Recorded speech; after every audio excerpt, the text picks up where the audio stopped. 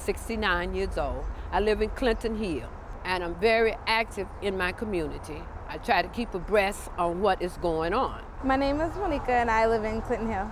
I work locally at the Greene Grape Wine Company. I used to be a personal trainer, so food and kind of food politics, and I'm interested in activism and politics. It's kind of a nice blend.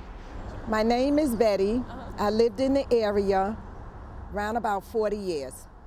I lived there off and on for like 57 years. Our area have grocery stores that are rip off. I can't afford all the organic food because I'm retired and I'm on a fixed income. I like fresh vegetables and I like fresh fruit, and they're very expensive. There really isn't a major supermarket in the area that people can easily shop for healthy foods. But yeah, I definitely would prefer to buy local, but it's just so expensive. What happened, I have a godson. He comes over and if a sale is on in Red Hooks, we go to Red Hooks. If a sale is on in Clinton Hill, we go to Clinton Hill. And it's from store to store that we do this.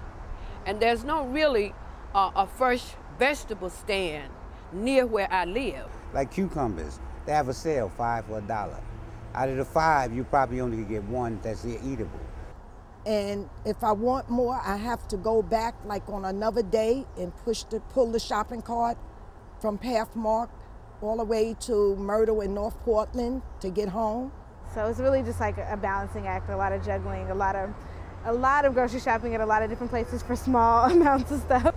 I think that a lot of the seniors are struggling with it because a lot of us have found out in our senior years that we have diabetes, that we have high cholesterol, and high blood pressure, and it's contributed to what we eat.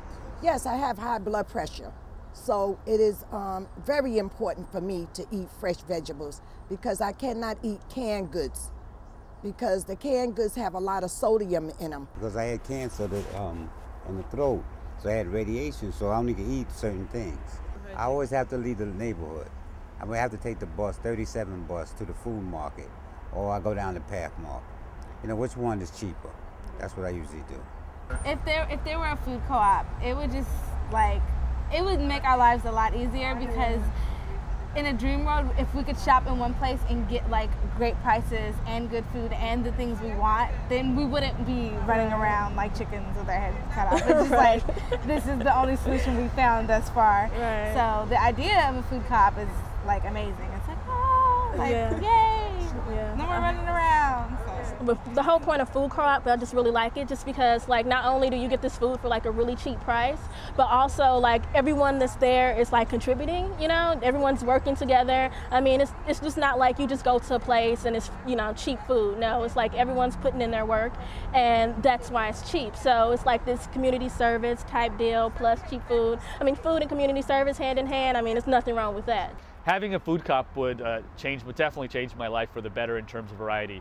Right now, I kind of, I'm kind of forced to, if I want to eat healthy, it's kind of, I'm kind of forced to eat a very kind of plain diet.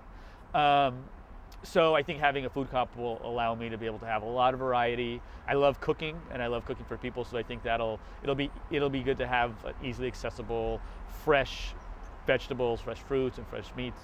So I think a food co-op, there's a lot of opportunities to really better the neighborhood. Having a food co-op in the neighborhood would help the people in the area. They will be able to buy more fresh vegetables. They will be able to buy more fresh fruit. I think I would shop at a food co-op. Yes. Affordable food. That would be nice because everything is going up but your check.